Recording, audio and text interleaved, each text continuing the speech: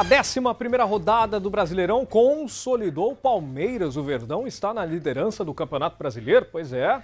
E o Verdão venceu o Santos, o Peixe, que despencou na classificação. São Paulo ganhou a segunda e diante do Bahia. Saiu da zona do rebaixamento, mandou embora esse fantasma aí. E o Corinthians perdeu para o Fortaleza e caiu duas posições na corrida pelo título. Hora de nós analisarmos a rodada e para isso nós temos um convidado para lá de especial via internet. Vou bater um papo ao vivo com o narrador esportivo Evaldo Prado, a voz mais famosa do litoral. Boa tarde, meu amigo, tudo bom? Boa tarde, Alexandre. Boa tarde a você que está acompanhando o Balanço Geral. Obrigado aí por mais uma vez atender a gente para comentar essa rodada do Brasileirão. Vamos começar pelo clássico Palmeiras e Santos. O Palmeiras numa boa fase na competição. Foi um resultado justo, na sua opinião?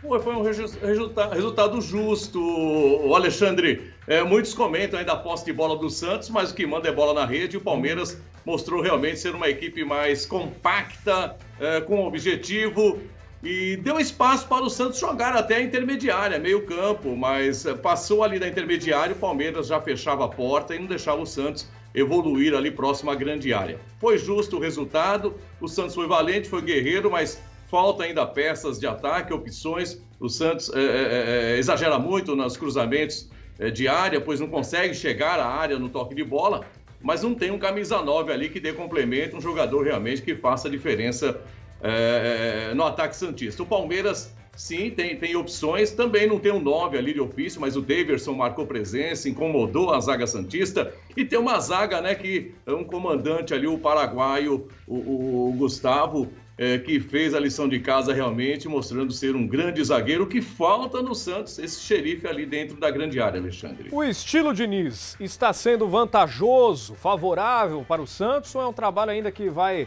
demorar um pouco para apresentar resultados?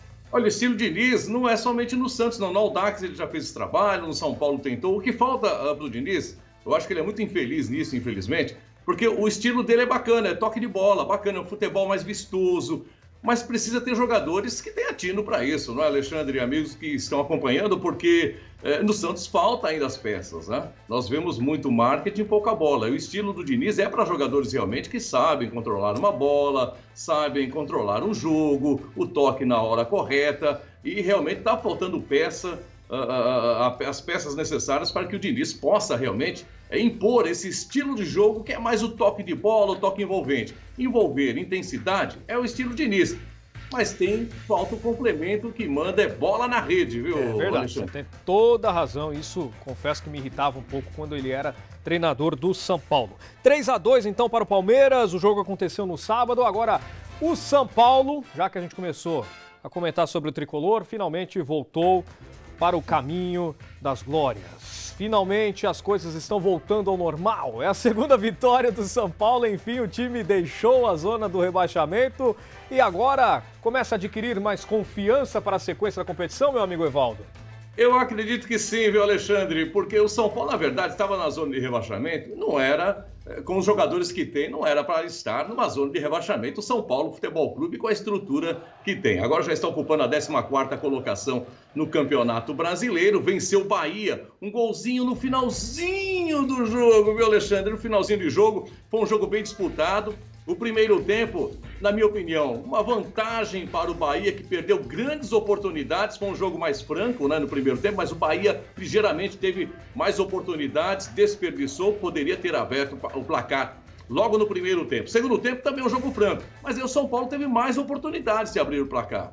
Tá? E no Sim. finalzinho, no cruzamento do Reinaldo pela esquerda, Liseiro de cabeça mandou para o fundo das redes, decretando aí a vitória do São Paulo por 1 a 0 sai, sai no, ficando um pouquinho mais longe ali da zona da degola, né, Alexandre? Agora ficando na 14 colocação com 11 pontos ganhos. Abriu a porteira agora, agora vai. Agora engrena de vez agora na competição. São Paulo tem um compromisso sério aí na, na quarta-feira. Na quarta-feira, o São Paulo tem um Racing da, aliás, amanhã, terça-feira, às 21h30, ele recebe o Racing no Morumbi da Argentina, uma grande equipe. E tá aí uma parada dura aí para o Hernan Crespo organizar a equipe, viu, Alexandre? Oitavas de final da competição, vamos que vamos. Agora é. começa aí o mata-mata na Libertadores. Vamos ver como o São Paulo vai reagir. Ainda o torcedor está meio desconfiado, meio assim. Será? Vamos aguardar amanhã. Jogo dificílimo. Dureza para o São Paulo, vamos aguardar. Agora, o Corinthians parece que não vai, né? Não engrena. O Silvinho ainda não encontrou uma regularidade no campeonato e uma, a melhor formação para o timão. É, continua aquela velha história, Alexandre. É, Silvinho, se vira com o que tem aí. E é isso que ele tem feito. Ele tem tido paciência. Incrível que o Corinthians vem de seis das seis últimas rodadas sem derrota. Empate, uma vitória, empate, empate. E vem caminhando aí. Ontem amargou a derrota frente ao Fortaleza por 1x0. Eu vou dizer mais, hein? Hum. Uh, era para ser mais gols do Fortaleza. O Fortaleza desperdiçou muitas chances. O Corinthians teve uma chance mais clara, mesmo no segundo tempo, com o Matheus Vidal, e perdeu essa oportunidade. Mas o Silvinho vem, como eu disse, é, trabalhando com as peças que tem e vem organizando pela defesa. Tentou organizar o Corinthians pela defesa, que é o certo, né? Uhum. Não tomar gols, pelo menos, e nas seis últimas rodadas não vinha, vinha pelo menos aí com resultados positivos, empate, vitória, vinha trazendo a equipe. Mas do meio campo para frente, quando você fala de um Luan, você fica lembrando do Luan lá do Grêmio, lá atrás. Sim. Você fala do Jô, de repente, que precisa de uma sombra, precisa de um camisa 9 no Corinthians realmente. Quando você vai do meio campo para frente, aí a coisa complica e não há defesa que aguente, não é? é? Então o Bahia fez um golaço aos 18 minutos do primeiro tempo com o Robson, abriu o placar e poderia ter feito muito mais gols, hein, Alexandre? E o Fortaleza vive uma grande fase também no Campeonato Brasileiro, está brigando lá na ponta de cima Fortaleza da tabela. Fortaleza G4, Alexandre. Sim, sim, o Fortaleza surpreendente, assim como o Atlético Paranaense vive uma grande fase, outras equipes se destacando. E o Bragantino, né, que é considerado aí quase uma sensação do campeonato, perdeu a liderança para o Palmeiras, mas é um time que com certeza vai dar muito trabalho até o fim deste Brasileirão.